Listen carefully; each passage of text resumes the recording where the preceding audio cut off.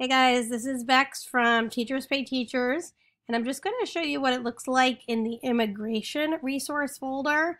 So once you open it up, you will notice there's a Watch Me First video for teachers on how to share Google Forms correctly.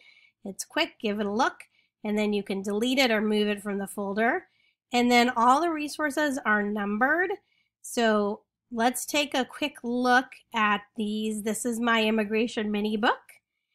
Um, and because they're numbered, you can just share the folder with your kids and then give, them, give them specific assignments like, oh, today you're doing number one, or you can read it with your class together. So this is the mini book. It's just four pages of short reading, good introduction. Then we have the immigration diaries. They come in two sets, set A and set B.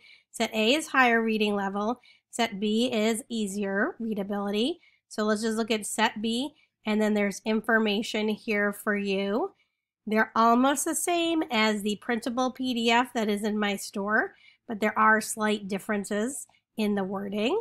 So you can take a look here. There are three different fictional immigrant diaries for your students to read and learn from.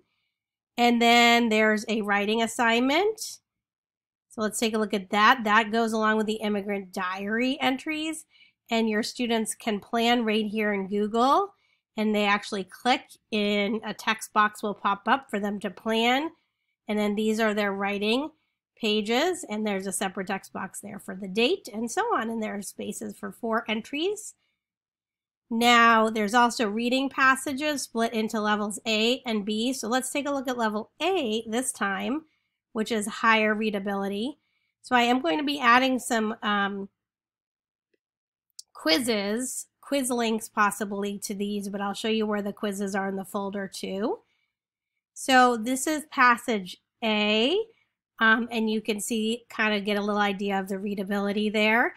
There are four different topics. What is immigration? Why did people move to North America? What was it like to immigrate to America in the 1800s? And Ellis Island. And the same topics are in set B, the easier reading level.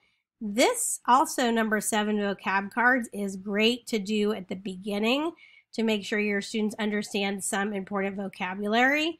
And you can delete any vocabulary cards that you do not need or just skip them when show, showing with your class. Then we have the four quizzes, which um, you can see, see here and assign to your kids in Google Classroom. Again, watch this video but they are meant to go along with the reading passages. So for example, there was an Ellis Island reading passage, and here we have the Ellis Island little quiz. It's super short. It's just meant to be two or three questions. This is what you will see.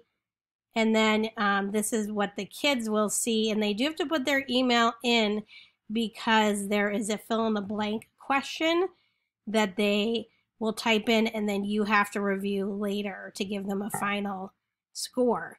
You can change these questions, please note. So if you want to make this a multiple choice instead of a fill in the blank, go right ahead. All right, so if you have any questions, let me know and um, have fun. Hope it's helpful.